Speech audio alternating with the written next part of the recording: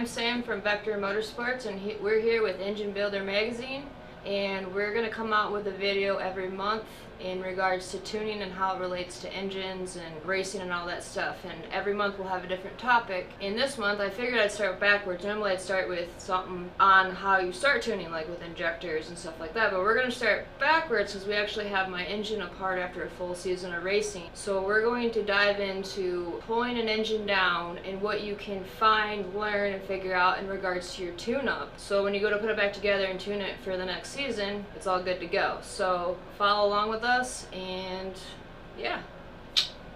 So the first thing you typically do when you're going to tear your car down is get the fluids out and obviously take a look at the oil. In our last race we had some issues and when I had the oil, when I was emptying it, I actually grabbed this and saved it and put it in a clear bottle.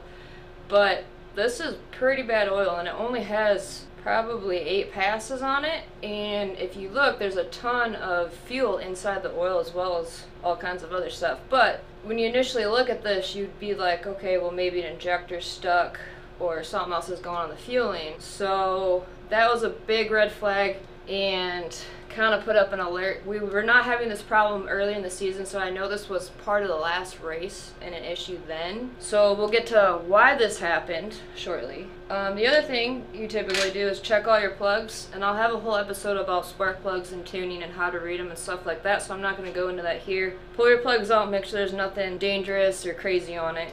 Um, I always take a look at all my gaskets, make sure there's no leaks when you pull the heads off, and I'm going out of order on how you tear down a motor. I'm not going to actually tear it down, but I'm just going to look at the components. Take a look at the head gaskets, Make sure they weren't starting to lift, there's no leaks, nothing crazy like that. I even look at the exhaust gaskets too. Sometimes you can see exhaust leaks. These were good, everything was good on that. Normally if you have a bad exhaust leak, you'll hear it or you'll see it in the data. You definitely want to make sure you fix that because that will mess up your tune a lot. One of the major issues that I had in the car, so when you pull the engine down, you want to look at the crank. And the Coyotes especially are known to have some crank issues when you're making really, really big power, especially on a blower car. So I kind of knew we were going to have an issue before before I pulled it apart because the crank bolt kept coming loose. So I knew that this was going to be ugly, but basically, this is a Billet Bryant crank. So this is one of the big upgrades I did over the summer. And I've had issues where I've snapped stock cranks, I've cracked stock cranks, and all kinds of stuff. So I upgraded to this, and I'm kind of bummed out that I hurt it this bad.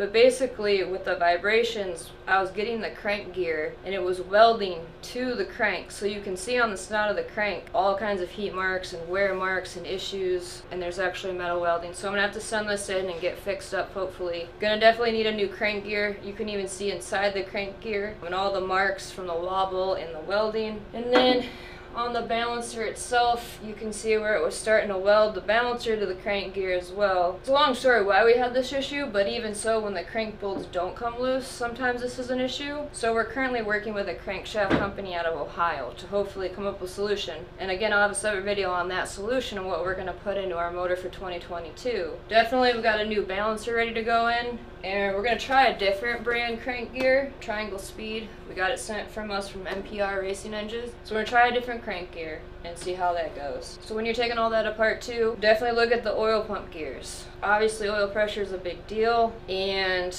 you don't want stuff in your oil, you don't want to lose pressure. We didn't have any pressure issues in our data. And the rest of the motor, I'll go through how that all looked. But when we took the oil pump apart, this pump's wrecked. Basically, I'm not reusing any bit of it. The housing included. You can see where it started to score on the side, on each side of the housing. And then the oil pump gears themselves, something went through it obviously, and we think that it was metal from the crank gear because there's actually no sign of anything going through the oil and the bearings and the rest of the motor, which I'll show you in a minute. But you can see on the edges here where stuff went through it and took out the gears.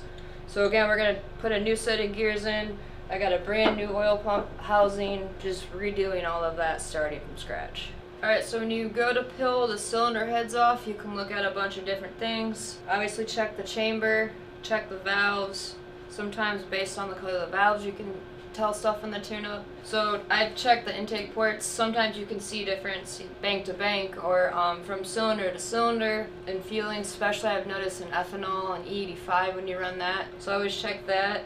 I'm not going to lift the head up, but I always look at the exhaust ports. See if one is richer than the other, vice versa. Even with the headers, if you have a clean set or a new set of headers, you can kind of tell what each chamber is doing on the exhaust side of it and change your tune-up based on uh, what you see there. One cylinder want more or less fuel than the other.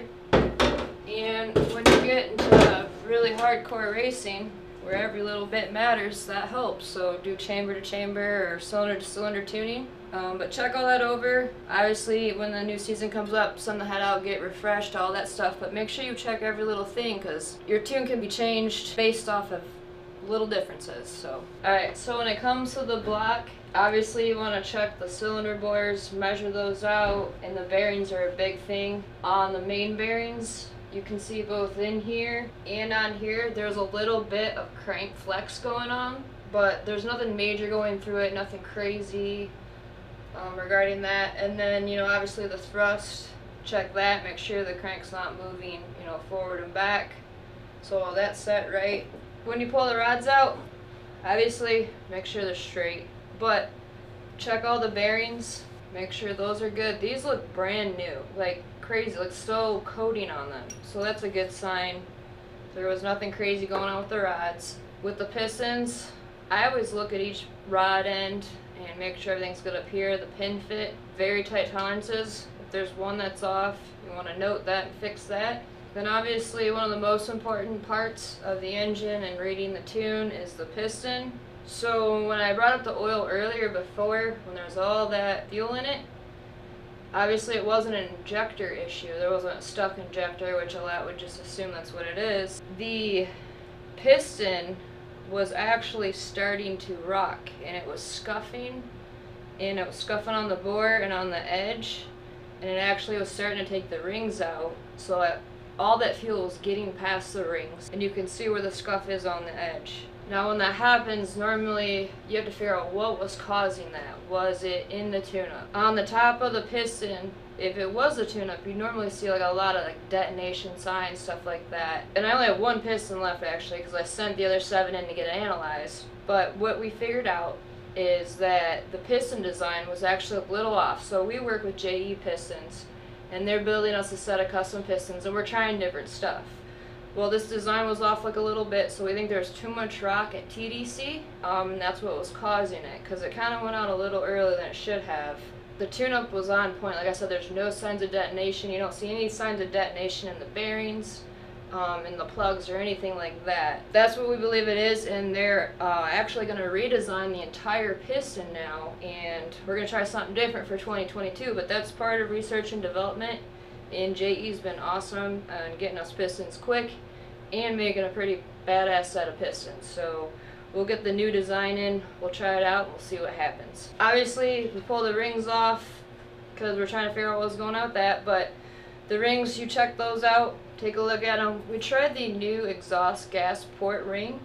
We think it did pretty good, but obviously with the piston hitting and scuffing, you can tell that the rings were starting to butt and we made sure that that wasn't the cause of the scuffing, it was actually a result of the scuffing. But that's stuff you have to look at.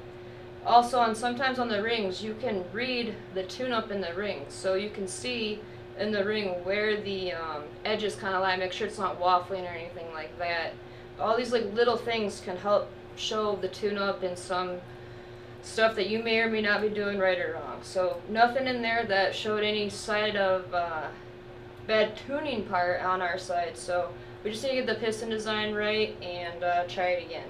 So obviously with the cavity, the timing components and the valve train are really important. So one of the major things I do, even on like a refresh sometimes mid-season, when you pull off the primary chains, check make sure there's no binding. You want to make sure the chains are good, clean, not sticking, didn't stretch, nothing like that.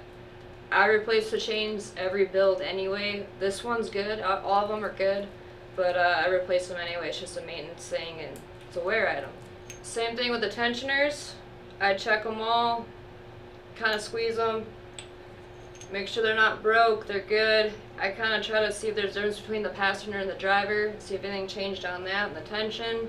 These are both good. But again, they're cheap parts. I replace them every build just in case Probably don't have to, but that's what I do. When I pull out each individual roller finger, rocker, lifter, um, whatever they call them in the coyote world, I check them, check the bearings, check if anything's tight or stuck. I replace every one of these too. Again, you don't have to because these will live long, but when you're racing and you're trying to push it to 10,000 RPM, you never know when one's going to go or if one's starting to go, so why risk it? When you pull out the cams, obviously check the cams over, um, go over those. I make sure that the bolts are in the right spot, nothing moved or tweaked or anything like that. I take the cam towers and I check those. Um, this might need to get touched up and rehoned a little bit. There's a little bit of touching going on, but nothing crazy, nothing dangerous. And then a big thing with the timing chain guides, and this is a big thing in the coyote world. So these plastic guides actually get eaten up pretty bad with ethanol. And we run C85 with, which is even worse. So you can see, and this is just three races, so three races, probably 30 passes, and that fuel's starting to eat up the guide, like it's dug in. Normally, I run the methanol resistant strips, which I had for the stationary guides, so they're fine. There's no wear on them, they're good to go. However, they've been on intergalactic backorder for the uh, pivoting guides, so I haven't had them. So it's something I'm going to have to keep an eye on because they're still on backorder. Um, should look like this, but you can see how yellow it is. This is actually what it looks like new. So you can see obviously the difference from the fueling and definitely get that replaced and keep an eye on it if you don't have the methanol wear. Alright, so in summary, what did all this tell us? Well, basically overall, the tune-up itself looks like it was pretty good. We obviously need to change up some of the parts, get the design right, put all new fresh bearings, gaskets, everything like that in there, and then definitely turn it up for next season. Definitely good to figure out what was going on. Like I said, I knew the oil looked off after that last race. And I have a sensor, um, PanVec sensor, so you can tell how much boost you're sending past the rings. And I can tell you based on the data I had, I knew something was going on, and the motor was going south quick because every run that sensor was showing me more and more boost past that ring, which is obviously not good. Um, but at the, end of the, at the end of the day, we made the decision to run it, and we actually brought home the win, and we're lucky the engine held together. Like I said, with some new parts, um, a little bit different setup, and we're gonna have a pretty good motor. And like I said, if we saw anything weird in the engine otherwise, most of the cylinders look balanced, most everything looks equal. So tune-up wise, timing wise, fueling wise, everything looks good. There's no major red flags. So that's a good sign. Um, next month's video, I think we're to talk about some injector info and data on how to choose the right injector for your setup. Um, we'll get into spark plugs and maybe some idling tuning. Thanks.